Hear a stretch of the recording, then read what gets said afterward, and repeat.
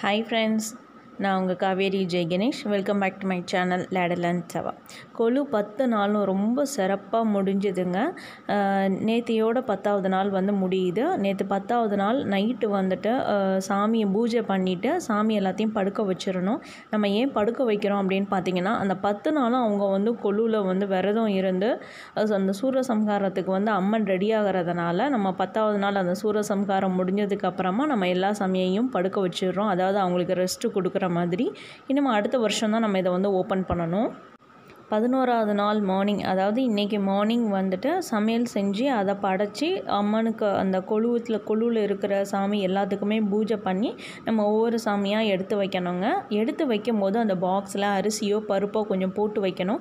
ஏன்னா நான் one year கழித்து தான் நம்ம அந்த பாக்ஸ் வந்து ஓப்பன் பண்ண போகிறோம் அது வரைக்கும் அவங்க அவங்களுக்கு பசி தீர்றதுக்காக நம்ம அந்த அரிசி பருப்பு வந்து போட்டு வைக்கணும்.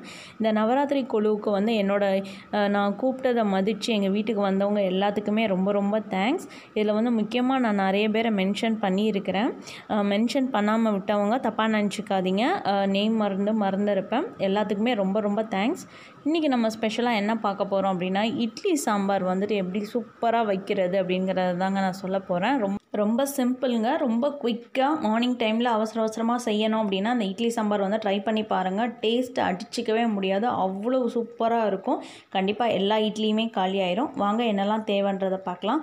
நான் வந்து நூறு பருப்பும் நூறு சிறுபருப்பும் எடுத்துருக்கிறேன். ரெண்டு தக்காளி நறுக்கி வச்சுருக்கிறேன். ரெண்டு பெரிய வெங்காயம் ஒரு பச்சை மிளகாய் ஒரு அஞ்சாறு சின்ன வெங்காயங்க. இந்த சாம்பாருக்கு வந்து டேஸ்ட்டு கொடுக்கக்கூடியதே அந்த சின்ன வெங்காயம் தான். நம்ம ந நிறைய பேர் வந்துட்டு இட்லி சாம்பாரில் வந்துட்டு அந்த நம்ம சின்ன வெங்காயம் போட மாட்டோம். இதில் நீங்கள் ட்ரை பண்ணி பாருங்கள் இப்போ குக்கரில் வந்துட்டு பருப்பை அலசி அதை வந்து கொதிக்க விடுறாங்க. அது கொஞ்சம் கொதி வந்ததுக்கப்புறமா நம்ம நறுக்கி வச்சுருக்கிறது எல்லாத்தையுமே நான் போடுறேன். இதில் நான் எதையுமே வதக்கலை. டேரெக்டாகவே நான் போடுறேன். வெங்காயம் பச்சை மிளகா தக்காளி அப்புறம் சின்ன வெங்காயம். இதை வந்து போடுறேங்க. இதை போட்டு நல்லா மிக்ஸ் பண்ணி விட்டுட்டு இதுக்கு தக்கன மஞ்சள் மஞ்சள் பொடி வந்து நான் ஆட் பண்ணுறேன் நம்ம வந்து பருப்பு அவிய வைக்கும் போது ஃபஸ்ட்டே வந்து உப்பு போடாதீங்க. ஏன்னா உப்பு போடும்போது பருப்பு வேக ரொம்ப டைம் எடுக்கும். அதனால் நம்ம ஃபஸ்ட்டு பருப்பு வெந்ததுக்கு அப்புறமா நம்ம உப்பு வந்து ஆட் பண்ணிக்கலாம். இப்போ மஞ்சப்பொடி போட்டுட்டேன்.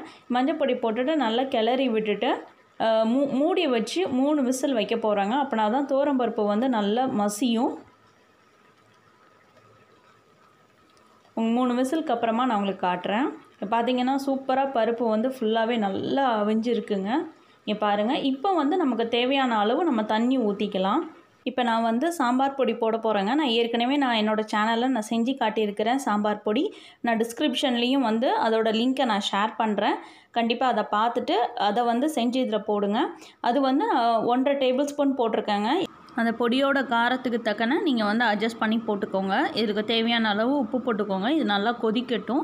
அதுக்கிடையில் நம்ம வந்து தாளிச்சிட்டு வந்துடலாம் இது வந்து கொஞ்சம் எண்ணெய் ஊற்றி கொஞ்சம் கடுகு போட்டிருக்கிறேன். அப்புறம் ஒரு நாலஞ்சு சின்ன வெங்காயம் வந்து நறுக்கி அதை நல்லா வதக்கணுங்க. அதுதான் இதோட ஃப்ளேவரே சாம்பாருக்கு அதுதான். இந்த மாதிரி வந்து வதக்கணும்.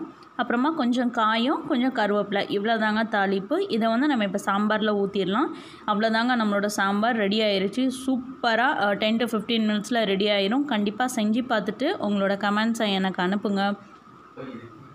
சுவையான இட்லி சாம்பார் ரெடி பொதுவாக எப்போதுமே பசங்களுக்கு வந்து இட்லி அவிச்சு கொடுக்க ட்ரை பண்ணுங்கங்க. ஏன்னா இட்லி வந்து நம்ம அவிச்சு கொடுக்குறதுனால அதில் வந்து சத்து நிறையவே இருக்குது. அப்புறம் அது வந்து உடம்புக்கு குளிர்ச்சியும் கூட. தோசை வந்து உடம்புக்கு ரொம்பவே சூடுங்க. ஏன்னா பசங்களுக்கு வந்து அது தெரியாது. ஏன்னா ரோஸ்ட் மாதிரி வேணும் அப்படின்னு சொல்லிட்டு கேட்பாங்க. கண்டிப்பாக இந்த மாதிரி சாம்பார் வச்சு இட்லி செஞ்சு கொடுங்க. அவங்களுக்கு கண்டிப்பாக பிடிக்கும். இந்த ரெசிபி உங்களுக்கு பிடிச்சிருந்துச்சு அப்படின்னா லைக் பண்ணுங்கள் ஷேர் பண்ணுங்கள் சப்ஸ்கிரைப் பண்ணுங்கள் மறக்காமல் பெல் ஐக்கானை கிளிக் பண்ணுங்கள் அப்போனா தான் என்னோடய நோட்டிஃபிகேஷன்ஸ் எல்லாமே உங்களுக்கு காட்டும். மீண்டும் இன்னொரு ரெசிபியோடு உங்களை சந்திக்கிறேன். அதுவரை உங்கள் காவேரி. ஜெய் கணேஷ். தேங்க்யூ